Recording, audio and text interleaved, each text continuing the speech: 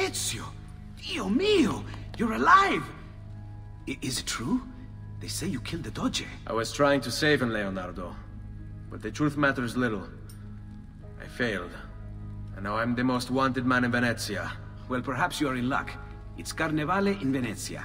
This is the time when everybody goes without a face. That's why I'm here. Do you have a mask I can wear? Of course, of course. Somewhere in here. Grazie, amico mio. And I have something for you.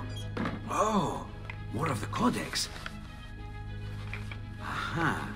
This one's quite complex. Hmm. It's a new design, my friend.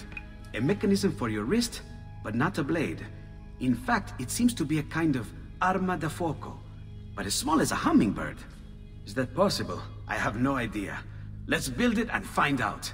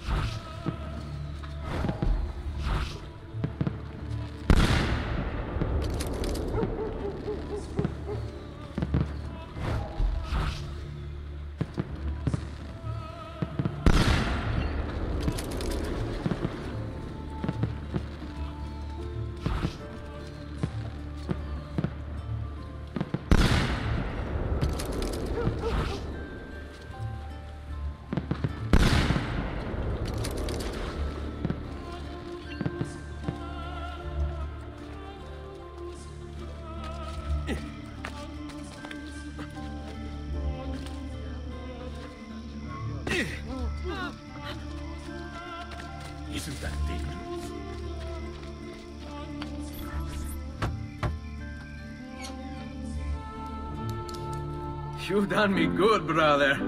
Ma certo. But I'm sure your return was not just to play with new toys. Is it about this terrible new doge they've installed? Marco Barbarigo? Then you'll want to speak with your friend Antonio. I've seen him quite a bit lately at... Uh, a mutual friends. I'd look for him there, in the Dorsoduro district, to the south. Ask for Sister Teodora. Sister? Well, um... in a way. Yes, sister. And Ezio, you can't be carrying weapons out there today. Grazie, Leonardo. Now, about that mask.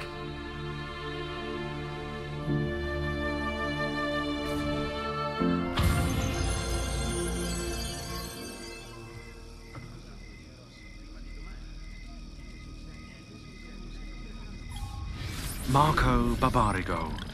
Although his brother Agostino was destined for greatness, Marco left his mark on Venetian history as well. A tyrant since he was barely old enough to walk, whatever Marco wanted, he got. There are records here for jewels, entire fleets of ships, all paid for by his family and all ordered directly from him. And then there's his personal life. Apparently, Marco's wife, Carlotta, used to be married to his bodyguard, Dante Moro. Dante was captain of the city guard and heir to one of the most prestigious families in Venezia. Marco was supposedly his close friend, right? But get this. Marco decides he wants Carlotta. In the Catholic religion, marriage is till death do us part, and Marco's a good Catholic. So, he hires a hit on Dante. Dante gets stabbed three times in the body and once in the head. But he doesn't die. He recovers with severe brain damage. Dante becomes like a child. So, what does Marco do? Well, he hires Dante as his personal bodyguard, and he gets him to sign a confession annulling the marriage. Marco takes Carlotta and keeps Dante as his personal slave. What a lovely fella.